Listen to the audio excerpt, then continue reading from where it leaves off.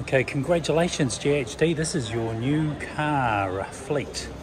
This is the MG ZS EV and they're coming to you now. I'm going to take you through a few aspects of this car so you can get to uh, know exactly what you're going to be using it for, how you're going to operate the car and what they look like. And I think after the sign writing's gone onto them, they look pretty stunning to be honest. So this is the MG ZS EV. It was the, well, it won EV of the year last year. Uh, it outsold everything else um, other than Tesla. I think Tesla fans were a little bit upset by this. But hey, given the fact that it was the first SUV in the country and it is uh, made by MG, it's got a range of around about 232 to 260 kilometres uh, from the battery. I think it's a stunning car. So enjoy these. I'll take you through a few aspects that you should know about. So first things first, um, just underneath, but underneath here is where the plug-in play is, so you can actually plug the car in. I'll get the keys, and we'll start with those first. So first things first, it's going to come with two keys. And one of the things you should know about is it's actually uh, proximity or keyless entry. Basically by pushing this button here, you'll see the mirrors fold in. By pushing that again, the mirrors will fold out, which means the car's unlocked. So once it's unlocked, we'll have a look into the driver's side. They come with electric seats, so you'll see that pretty much straight away. Uh, fashion and styling, really nice actually. So this is a combination of uh, some bigger brands uh, bringing together the MG product. In the back seat, let's have a quick look lots of space back in here. Oh, by the way, each car will be receiving a survival kit or a, a, a, some gratitude from Tristram European for buying a car from us, but you'll find lots of things that'll come in handy inside this car. Um, not only do we have big seats at the back, now if you pull this little lever back here, the seats will fold down and it gives you additional room. So if you want to say go out and buy something large where you're carrying around a few bit of equipment, it's going to come in handy. And then you see in the, ceiling, uh, there's a big panoramic roof. Now that particular piece there is the shade. So there's a shade and then there's a glass roof. I'll show you that in a minute. Well, as we start going round to the back of the car, you'll see the see the logo saying EV because that's exactly what it is. So this is where you're going to find the plug so the plug itself is going to be stationed back in here. Now you can use this at home, so you can plug this in overnight um, and it will charge. Now it'll only get, get to 80% charge over about a 12 hour period. So you might want to use your fast chargers or your other chargers that are supplied at work because they're slightly stronger. Um, there is a triangle inside here just in case you're pulling over on the side of the road. And then of course a run flat kit here. So that's designed so just in case you because you, you, don't have a spare tire uh, spare wheel just in case this will come in handy. So it'll inflate the tire and get you to where you need to be next. Right plenty of space inside here. And again I can actually take that down a level and get more space if I need it currently I'll just leave it up here. And of course if I drop those back seats you're going to get plenty more room. So let's keep going around the car. On the left hand side of course plenty of space. We've seen that. Uh, left hand side now the passenger doesn't get an electric seat on this side.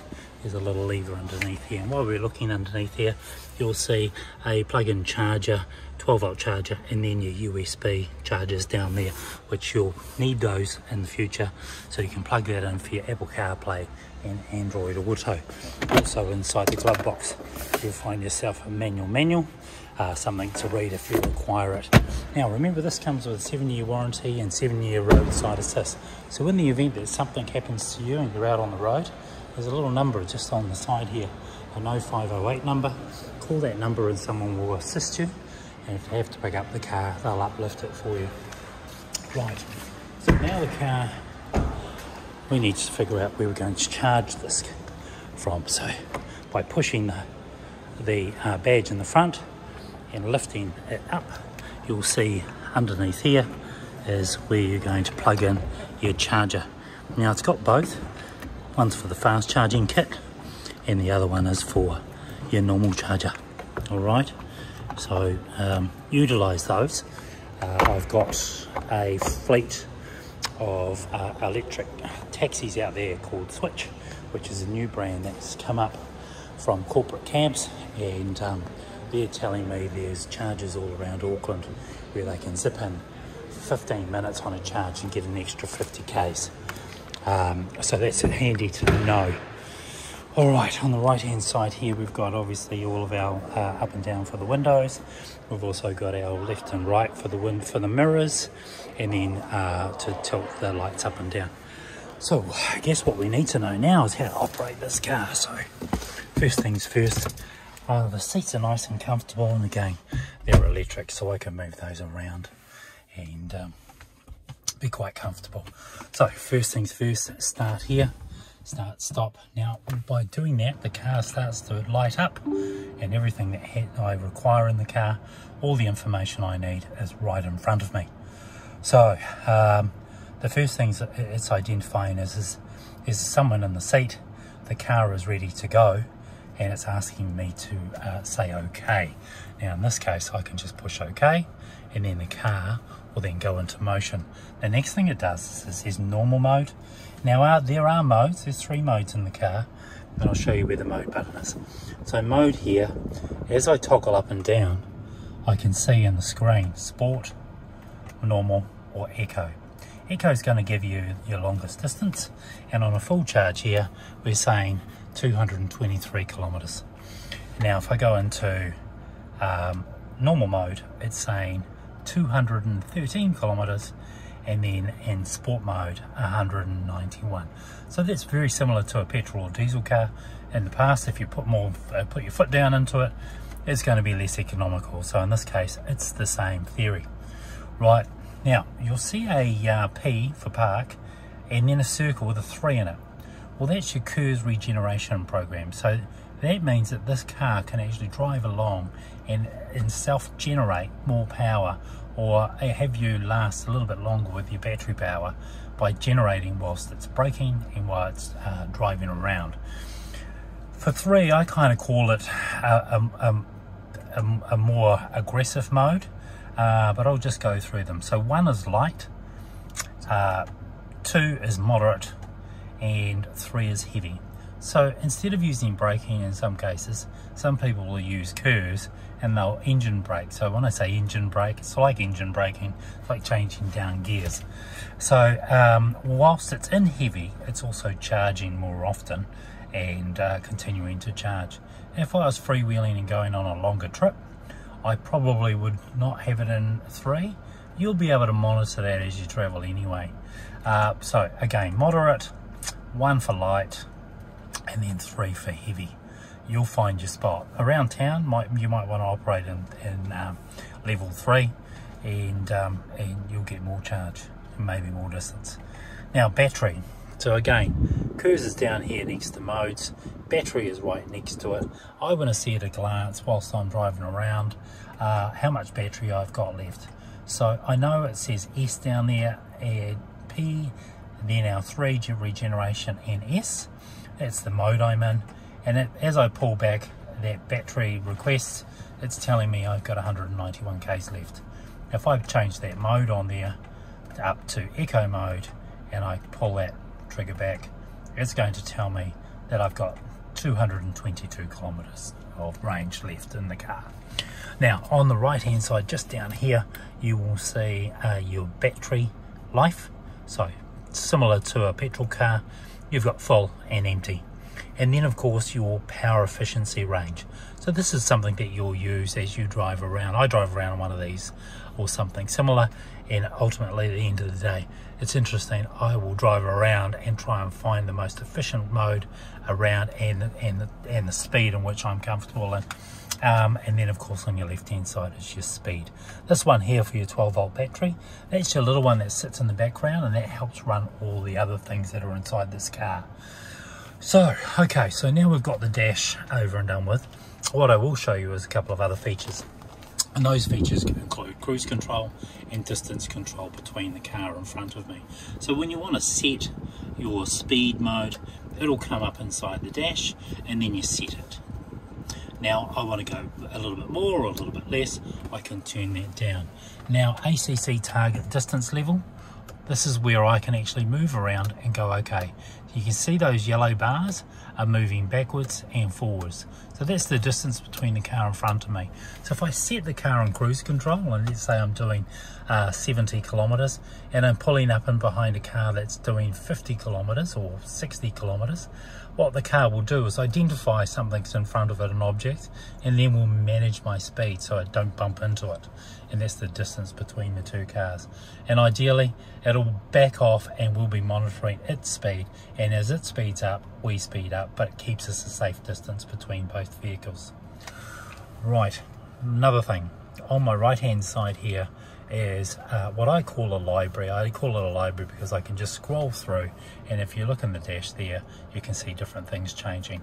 So this is just really up to me on what I prefer to see while I'm driving along uh, from distance control to, to speed warnings up and down. Uh, I can make all those changes inside the dash worthwhile having a bit of a play because some people like to see the simple things like just the speed and what gear I'm in and then over a period of time they start to uh, reach out and start playing with other things. On my left hand side here we've got um, we have got our um, mute button our uh, we can change our channel for instance so if I look into here I can change the channel if I like. I can turn the volume up from this area as also as well. Um, and I can change the source if I want to, or even make a phone call. But again, as I said, you've got Android Auto or Apple CarPlay. The way for you to use that is to link through with the cord that's inside the gift box that we've, uh, we've provided you. And that will go through this hole and down into the USB just underneath here, okay?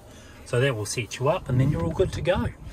Um, last couple of things. Let's figure out how to drive the car. So you've got a P for park right now. If I put it into drive, the car will go into drive and I'll be ready to go forward.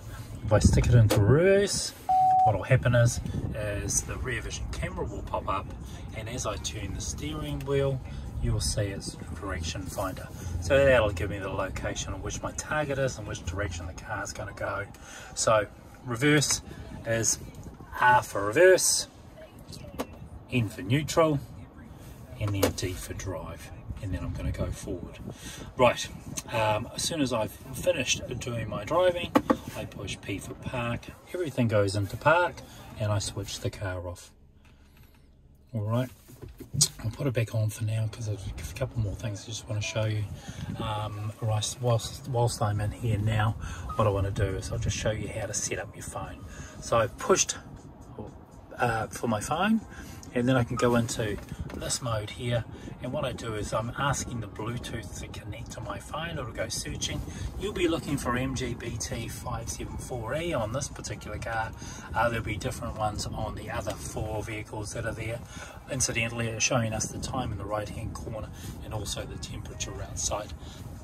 So now I'm finished with that I might just go back into my source or just have the home button right here now I've got navigation if I want to use that. I've got information on the car if I want to use that also. So um, it'll go through and have a look inside the car.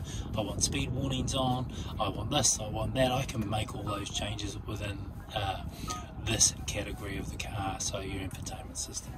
All right, factory settings, driving and maintenance. All of that is all that will come up for you. All right, it has got heated seats, so heated seats will be hot, or not. Um, that's pretty simple.